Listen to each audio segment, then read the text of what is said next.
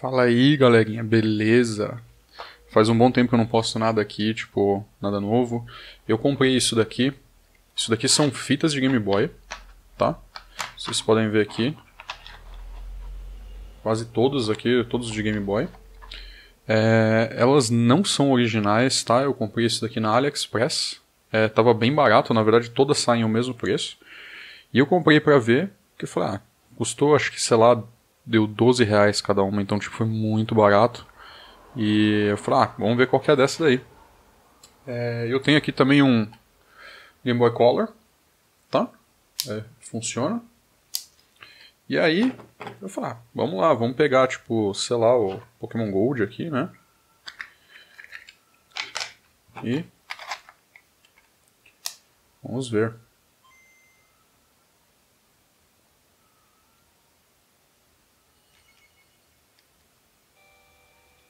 Vocês podem ver que funciona. É, eu já usei essa fita aqui, então tem o save game aqui. E ele retém o save, tá? Então, bela nostalgia para todo mundo que já jogou Pokémon Gold, né? Tipo, eu só criei o jogo para ver. E aí, ó, é... o detalhe dessa fita aqui, eu falei, cara, isso daqui é muito barato. É, fitas de Game Boy, na fa... quando você comprava lá na, na época, custava na faixa de 200 reais, é, às vezes até mais tá? Eles eram bem caras. É, as piratas aqui no Brasil custavam também na faixa de 50, 60 reais. Algumas iam para 10, 20 reais. É, uma característica que tem dessas fitas aqui é que todas as que guardavam save, eles guardavam save numa memória RAM. O que significava que se você tirasse energia, ele ia perder esse save. Para isso, dentro da fita tinha uma bateria, tá? E essa bateria serve para isso. É, eu vou abrir essa fita aqui então.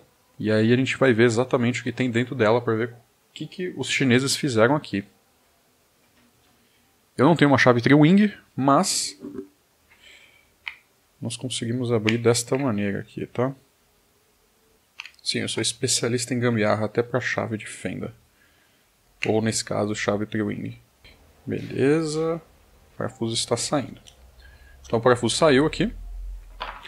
É, essas fitas aqui tem um slider e Bang. Isso daqui é a fita. Vocês podem ver que essa fita é muito pequena, cara. Tipo, muito pequena. Isso daqui é do tamanho de uma fita de Game Boy Advance, tá?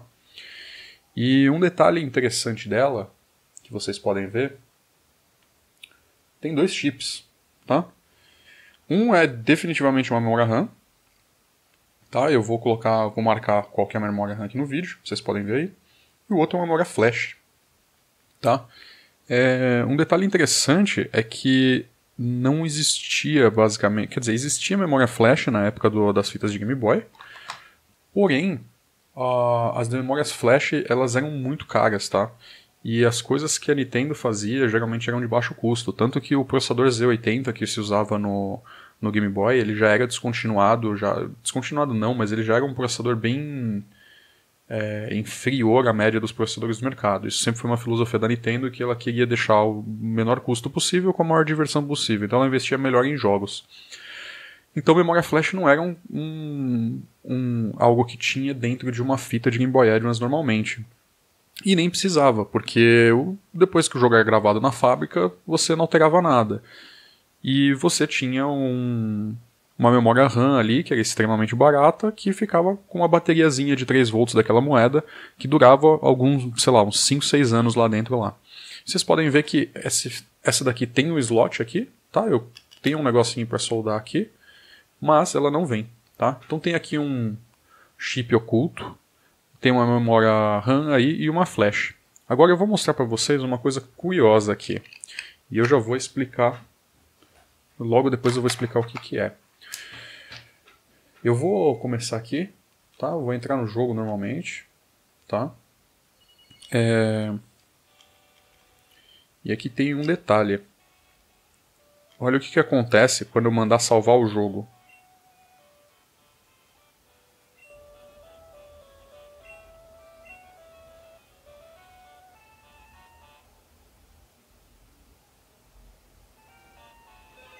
Vocês viram que duas coisas aconteceram. É, no vídeo pode ficar meio ruim de ver, mas o LED aqui deu uma bela de uma baixada de brilho e o som deu uma travada, tá?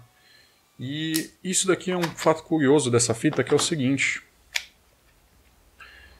Essa memória flash aqui, especificamente da Expansion, ela consome muito mais energia do que a memória flash, a memória ROM que existia dentro do, das fitas de Game Boy. E esse é outro fato interessante. Ele, apesar de ele ter uma memória RAM aqui, ele não usa a memória RAM para armazenar, ele usa a memória flash. Ou seja, esse chip que está aqui dentro aqui, ele pega e gerencia essa memória flash de uma maneira diferente. Então, essa memória flash contém não só o jogo, mas o save game do jogo tá? Qual que é a grande vantagem disso? Cara, você não precisa de uma bateria, tá? Só que aí nós temos outro problema. Eu não sei se vocês lembram, qual que no, no Pokémon Gold e Silver eles implementaram uma coisa que era, meu, pelo menos na época, extremamente inovador, que era o dia e noite, tá? Você tinha um relógio dentro do jogo. E esse relógio é, ele seguia o, o, horário do dia. Então, logo que você começa o jogo, ele te pede para você pegar e escolher qual que é o horário, e esse, esse relógio vai contando. Só que ele continua contando enquanto o Game Boy está desligado também. E como é que ele faz isso? Dentro dessa fita aqui tem um Real Time Clock, que não existe nessa daqui. Tá? Então tem um chipzinho ali, que é um reloginho, tá? como se fosse o seu relógio de pulso ou qualquer coisa do tipo, só que digital e ele armazena o horário e fica contando o tempo. Tá? É, ele conta o tempo, inclusive com o Game Boy desligado, por quê? Porque ele tem uma bateria de 3 volts lá para ligar, deixar ele ligado enquanto o Game Boy não está funcionando.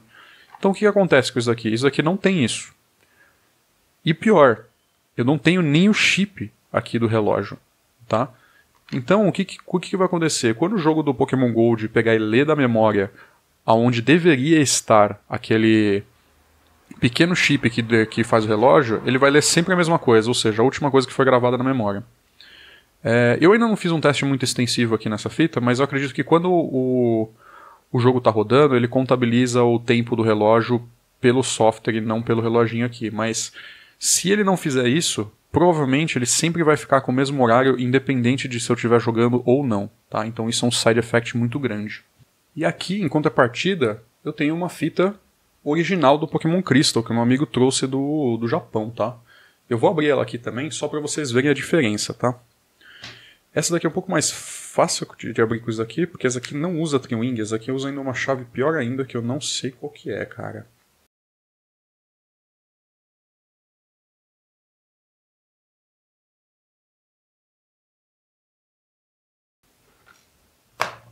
Então aqui eu abri ela, tá?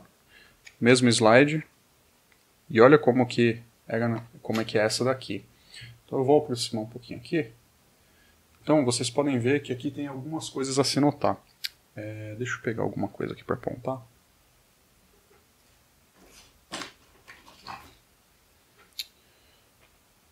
Então vamos lá. É, nós temos aqui a bateria, como eu tinha falado. É, isso daqui é uma memória, é uma ROM tá? Então ela não tem como ser regravada. Isso daqui é gravado na fábrica. Isso daqui é uma memória RAM, então aqui é onde fica armazenado seu save game. Esse daqui é o MBC, é o Memory Bank Controller. Então aqui está escrito MBC 30. Tá? Ele é a versão 3 do MBC. É, esse chip aqui ele faz o seguinte: esses jogos aqui são maiores do que inicialmente previsto no Game Boy. Então esse chip aqui ele meio que faz a tarefa de pegar e acessar pedaços que não, não tem. É, pedaços da memória que não conseguem ser definidos por esses pinos aqui. Tá? Então ele meio que você manda um comando, olha, agora eu quero acessar a segunda, o segundo banco de dados daqui. Então aí ele troca de banco e aí você começa a acessar o próximo banco. E aqui você tem o chipzinho que é o relógio. Tá? Então você tem um cristal aqui. Esse cristal aqui mantém esse relógio tocando aqui. Então vocês podem ver que tem bem mais coisa, tá? É, a placa é bem diferente, ó. Tem um belo um desenho aqui atrás. Eu não sei o que, que são esses quatro pinos aqui, mas isso aqui parece um test pad bacana. Mas essa daqui é uma fita original, tá? Então vocês podem ver que é bem diferente, tá? O, o layout, tipo a qualidade e tudo mais. Esse daqui tem uma bateria. Infelizmente essa bateria acabou. É, esse jogo aqui do Pokémon Crystal tem mais de 20 anos, então por mais que eles tivessem feito, sido feitos para aguentar, não ia durar tanto tempo assim, né? Então a bateria dele acabou. Mas essa fita continua funcionando, então se eu ligar aqui no Game Boyzinho aqui, é aí que eu preciso encaixar a fita direito, né? É mais difícil quando ela está aberta.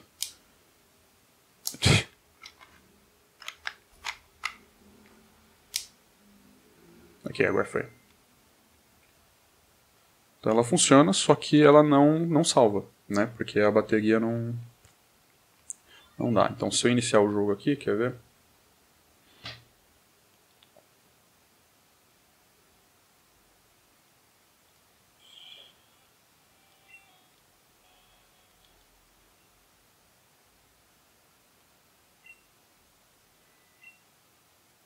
Então, ó, aqui a primeira coisa que ele pergunta é o horário, então eu estou colocando aqui, sei lá, 10.00, enfim, só para começar.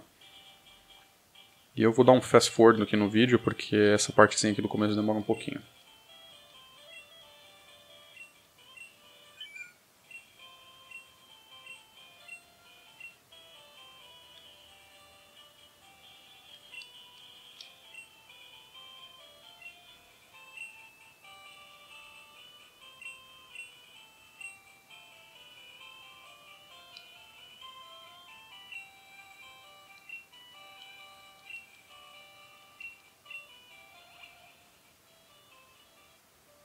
Então aqui eu estou logo depois que já estou no negócio, se eu não me engano o save é esse daqui, não, esse aqui é o options. Então save, ó, vocês podem reparar que não vai dar o mesmo, viu, nem a música parou, nem o LED baixou aqui. Tá, só para vocês confirmarem aqui. Ó. Tudo continua igual, tá vendo? Então beleza, só que se eu desligar agora e ligar de novo, Talvez desligando e ligando rápido ele permaneça o save. É, mas a princípio ele não deveria. É, desligando e ligando rápido ele permanece o save, mas se eu tirar aqui segurar um pouco para fora,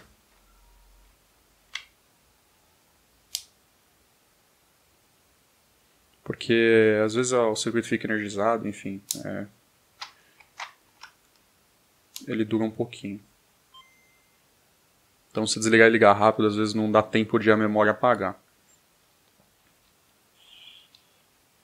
Então vocês podem ver que ele limpou o save e porque minha bateria está zoada aqui. Mas é isso aí. É, cara, todas essas fitas funcionam extremamente bem nesse aspecto, tirando o fato de que o Pokémon Gold, Silver e Crystal, por ele ter o relógio, é, as, se você quiser capturar todos os pokémons e o relógio não funcionar direito, você não vai conseguir, porque tem pokémons que você só captura à noite, tem pokémons que só captura durante o dia. Pro resto dos jogos, tipo, tanto o Pokémon Blue, o Green, o Fire, o Fire, ó, o Red e o Yellow, tudo ok, porque eles só gravam save mesmo, inclusive eles funcionam no Game Boy Pocket, é, e tudo ok. Eu abri outra, as outras dessas aqui também, e são todas exatamente iguais. Todas elas são essa plaquinha aqui. Tá? E um fato bem curioso é o seguinte: essas, esses dois chips que tem aqui, eles são chips que trabalham com 3.3 volts. É, o Game Boy Advance ele é 3.3 volts, mas o Game Boy Color não, ele é 5. E o que eu mais achei bizarro foi o seguinte: eu tenho um gravador de, de fitas de, de Game Boy, né? E o gravador de fitas ele, que eu tenho, ele suporta tanto o Game Boy Advance quanto, quanto o, o, o, Game Boy Color, tá? E a diferença geralmente é você escolher se é 3.3 ou se é 5 volts. E para eu gravar isso daqui eu tenho que gravar em 5 volts, sendo que nenhum desses dois chips suportam 5 volts, o que é muito bizarro. Tá? Eu não sei se aqui dentro talvez tenha algum regulador ou qualquer coisa que seja, mas eu sei que precisa dos 5 volts. É, mas, mas, funciona tudo certinho. Esses daqui são regraváveis, né? São memórias flash. E esse modelo aqui tem no, na internet para você regravar ele. Bom, eu espero que vocês tenham gostado desse vídeo. É, se você gostou, dá um like. Se não gostou, pode dar um dislike. É, só espero que se der um dislike, escreva aqui no comentário o que, que você não gostou, o que, que você gostou. É, se inscreva no canal também para ver mais vídeos como esse. E até a próxima.